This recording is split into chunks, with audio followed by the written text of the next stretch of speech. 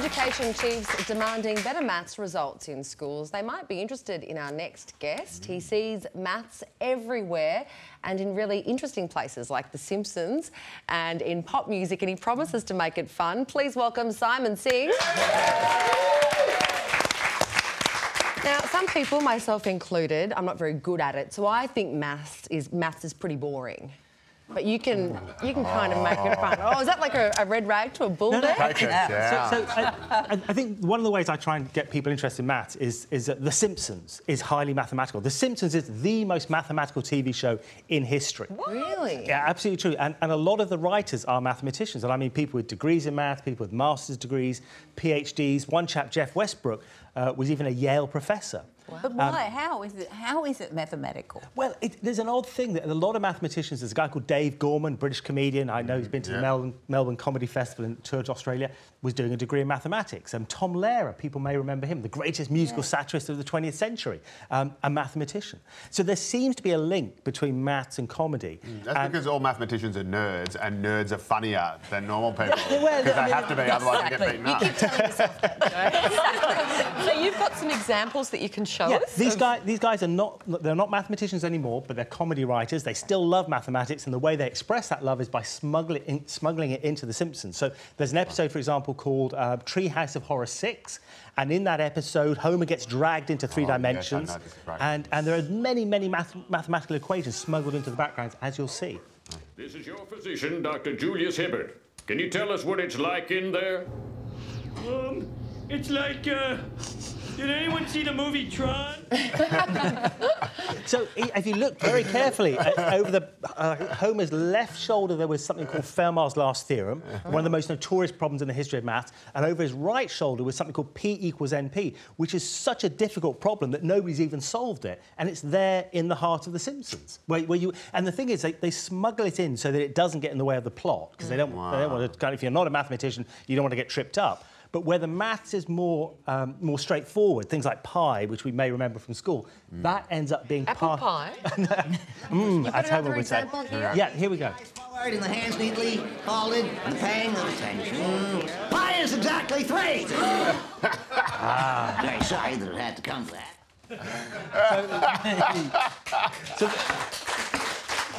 the, the, the, the I don't one. get it. Is the, that funny? ah, the one thing. The one thing we should. Everyone knows that pi equals 1. Point, what, Is it 3.14?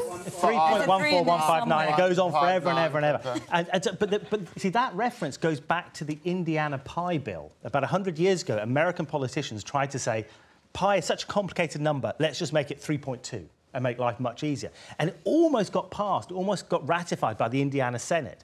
And Al Jean, who's one of the mathematicians, Al Jean's such a brilliant mathematician, he went to Harvard when he was only 16 years old. so he like Doogie smuggles that Howser. in so to, you know, to, to kind of just get the fellow geeks who are listening and watching the show to give them a bit of a kick as well. There's also maths in pop music, I think.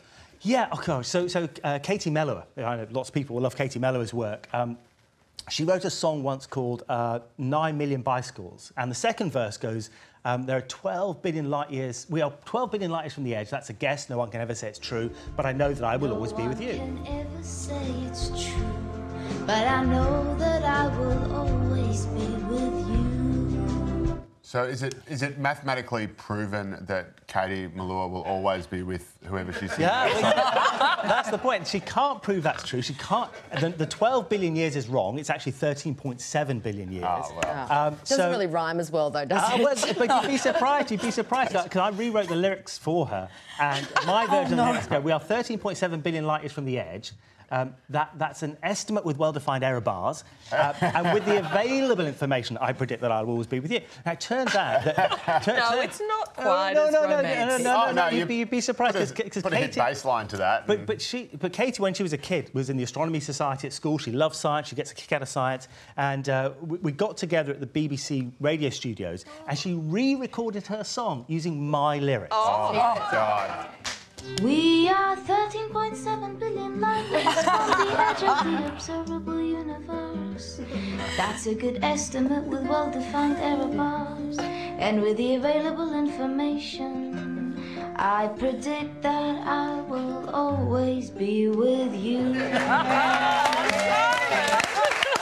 And watching you watch that, you were proud. It's, I the high, it's the you. high point of my mathematical career. then. So, so, I hope you made the film clip. I hope you made the film clip. Oh, it's- so, the- I mean, the thing is, what what I love about all of this is that, uh, that, you know, as you say, people find maths a bit difficult. People can be a bit scared of maths. But, but if you're a geek and you watch The Simpsons and you get maths and you see that maths is in The Simpsons, you know that the people who write The Simpsons love maths as much as you do.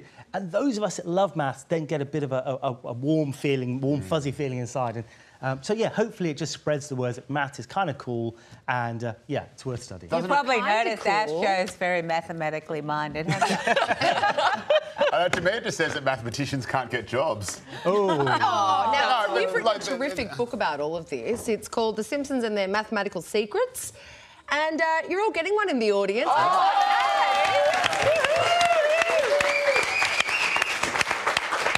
You're brilliant. We could talk to you all day about this sort of stuff. You'd have to explain the jokes, but you know, you're a terrific chat. All I know is that Simon plus maths equals fun. Thank you for joining us on the show.